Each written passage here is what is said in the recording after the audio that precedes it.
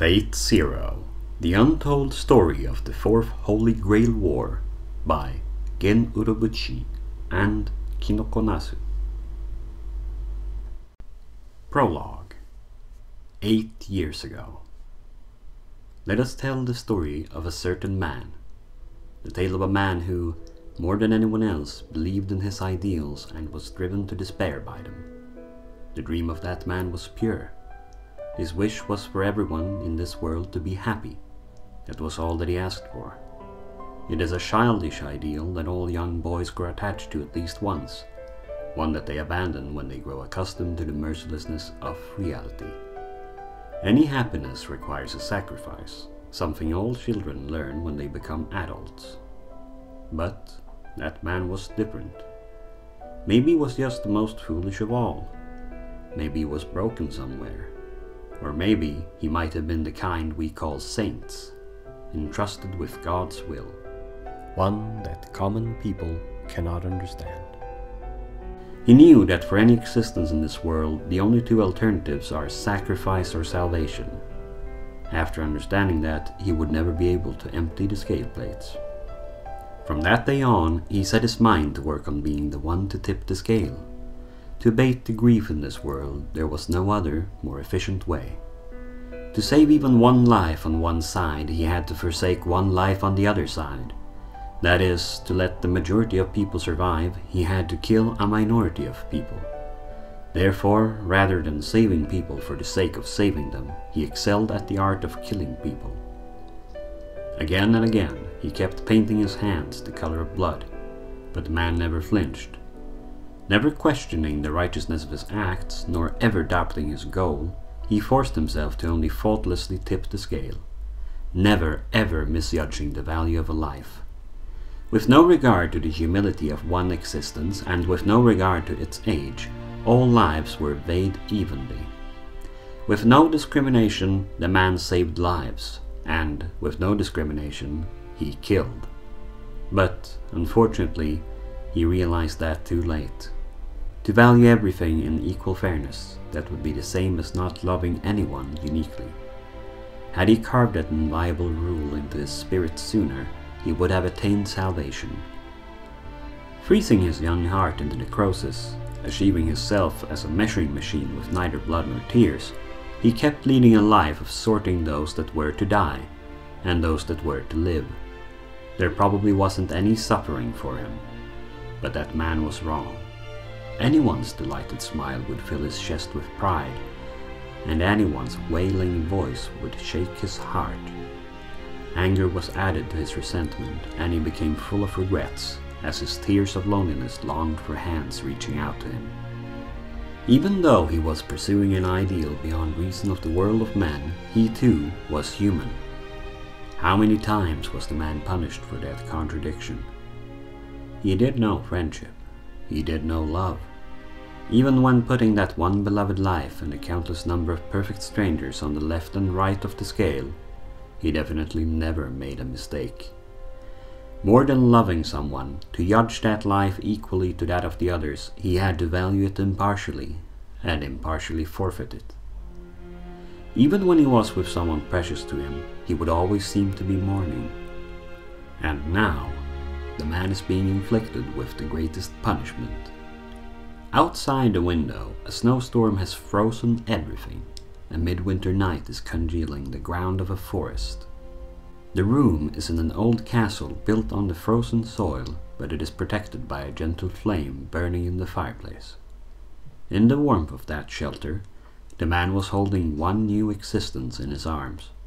It was a really small one, a body so tiny it could be ephemeral, and no waif that could tell it was ready. A delicate response can be dangerous, as with the first snow scooped by hand, which would crumble with a mere jolt. In frail eagerness, the child preserves her body temperature by sleeping, breathing leniently. That is all that the modest throbbing of the chest can do at the moment. Don't worry, she's sleeping. As he lifts the baby in his arms, the mother, resting her body on the couch, smiles upon them. From the haggard look of the child, she isn't fine yet, and her complexion isn't perfect. But even so, Her beautiful face, reminiscent of a jewel, doesn't decline in any way. Above all, the color of bliss brightens her smile and erases the exhaustion that should wear out her gentle look. She would always be difficult and cry, even with the nurses she should have gotten accustomed to. It's the first time she's let herself be held so quietly. She understands, doesn't she? That it is fine because you are a good man.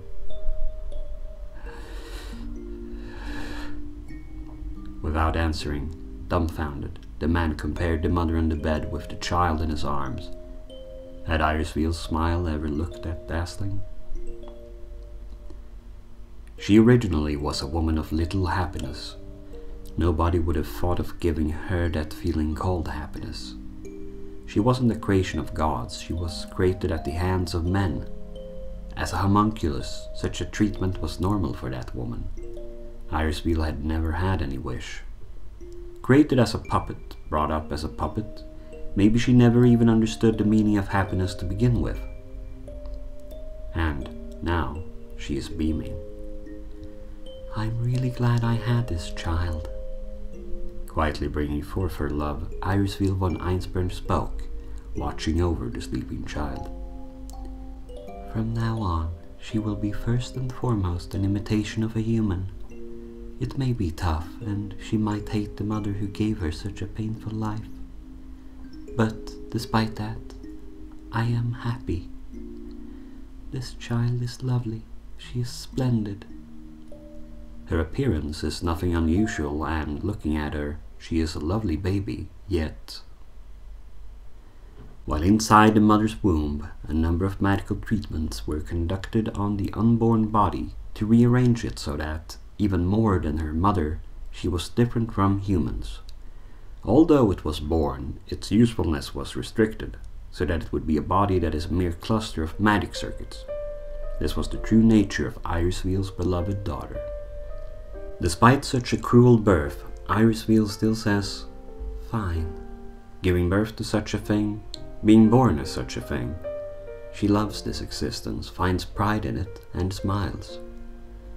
The reason for that strength, that bracing heart, was that she was, without a doubt, a mother.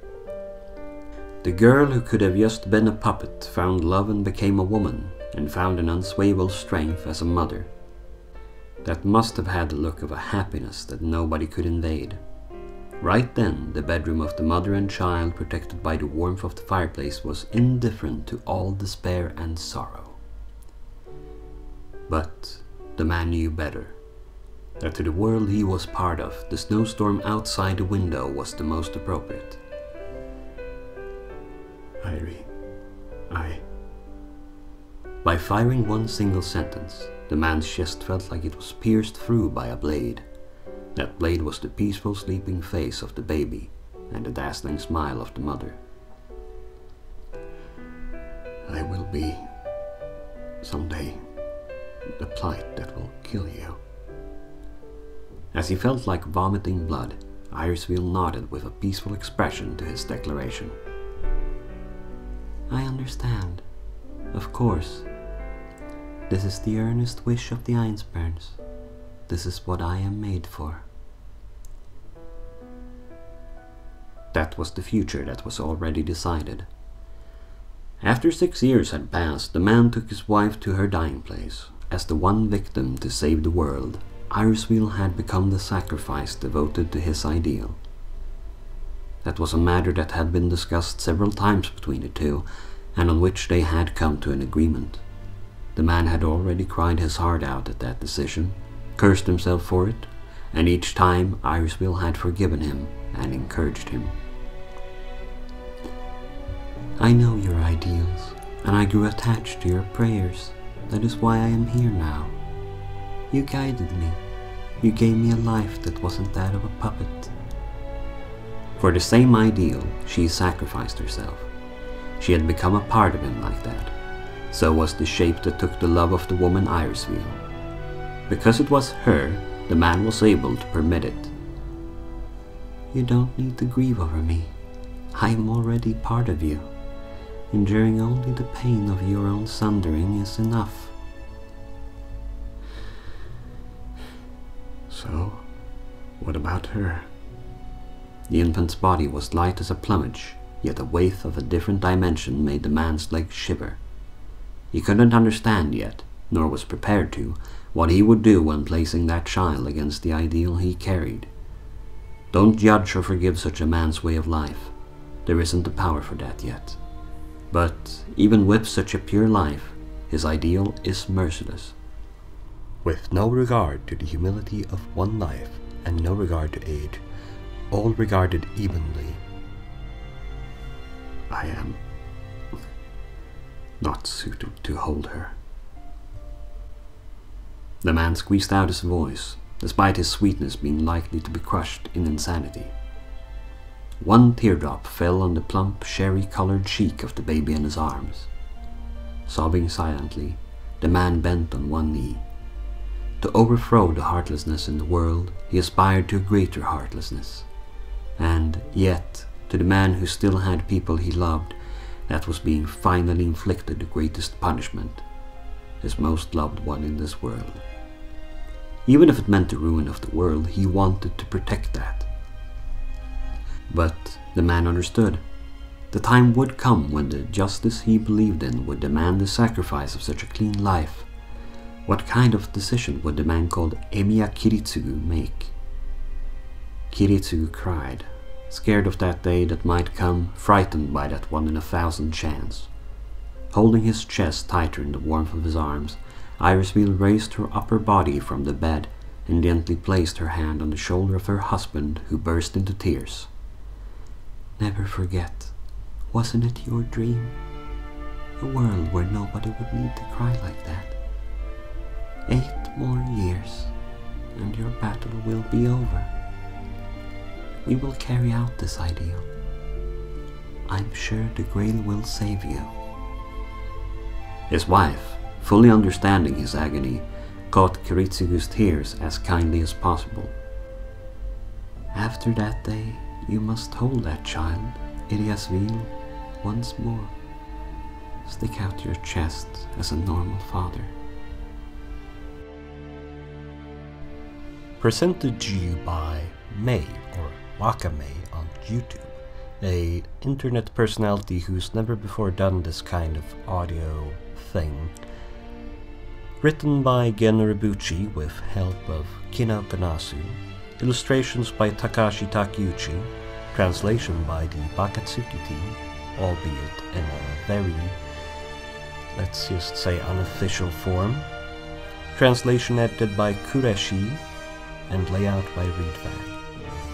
I hope you enjoyed this audiobook version of Fate Zero, done by yours truly, and I hope we can see you again. Please enjoy.